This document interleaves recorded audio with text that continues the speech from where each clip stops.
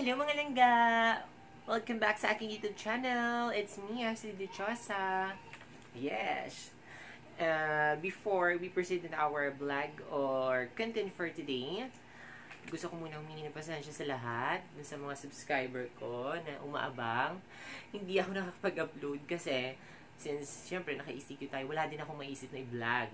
We cannot go out Now, it's because na nagta-transition tayo sa GCQ, so it means a general community quarantine. Pero it means meron pa rin tayong quarantine na tinatawag, protocol pa rin. Although, we are in transition to new normal, but of course, uh, we have to be in cautious pa din sa mga safety protocol para at least maprotektahan natin ang mga sarili natin at hindi lang, of course, sa mga family natin sa lahat ng family members natin. Dahil nagkaroon na tayo ng transition to new normal, which is now is GCQ. Actually, meron na yung iba, um, meron na yung iba um, MGCQ. So, nagbabalik sa normal na paunti-unti. Kaya medyo busy ng lola ninyo, hindi nakakapag-upload. Medyo nagkakaroon na ng ano sa opisina. But our topic for today, mga langga, na-excite ako kasi nakuha ko yung pin ko.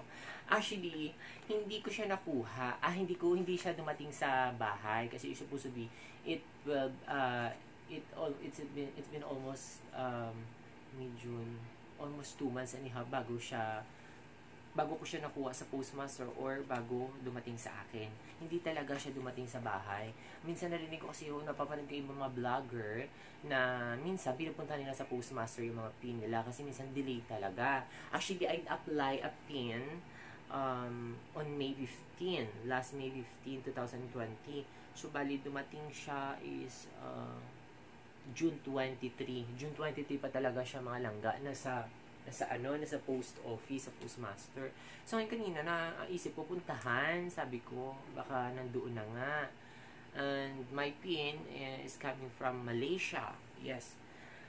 Doon sa mga hindi nakakaalam kung ano ang pin, ang pin is, yun yung required ni AdSense na pagka nagkaroon ka na ng threshold, threshold na income or revenue sa YouTube channel mo at least $10, you will be requiring i-pin So, meaning to say, uh, verification code po yun na kumbaga eh, verification ng inyong address.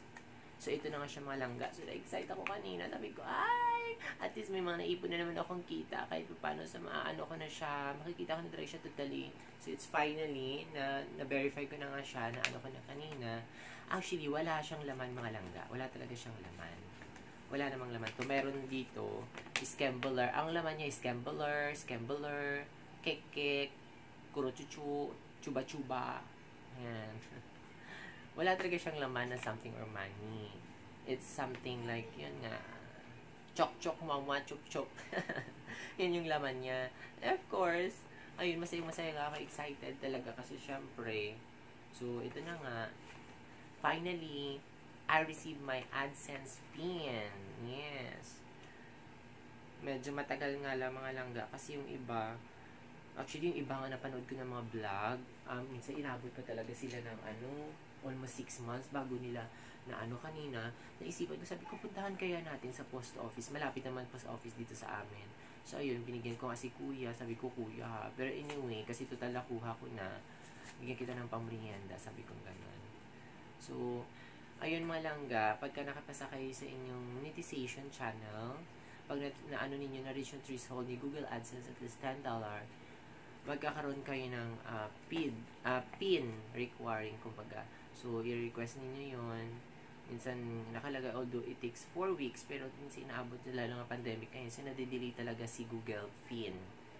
Kumbaga, Google AdSense PIN, mga langga. So, yun. Well, I'm so excited excited! So, ito na nga siya mga langga. Um, sana tuloy-tuloy na talaga makapag-upload ako. So, dun sa mga hindi pa nakakapag-subscribe, sana po mag-subscribe na po kayo mga langga. Mag-subscribe lang na mag-subscribe. At saka also kay Daddy Gab sa YouTube channel niya, Gabi Wadjong. Uh, huwag po niyo kalimutan din mag-subscribe. At saka dun sa mga subscriber ko, mga langga, sa mga patuloy na sumusuporta, well, thank you so much. Um, hindi po kayo magsisisi sa inyong pagsuporta. Dahil ang channel na ito, ang goal ng aming YouTube channel um, is to help So, in short, the, the, the half of the revenue will be going to the charity soon kung pagpalain na kumita man ang aming YouTube channel, mga langga. As yun nga, nag-new transaction na tayo, pupunta na tayo sa GCQ and MGCQ and sana tuloy-tuloy and hope.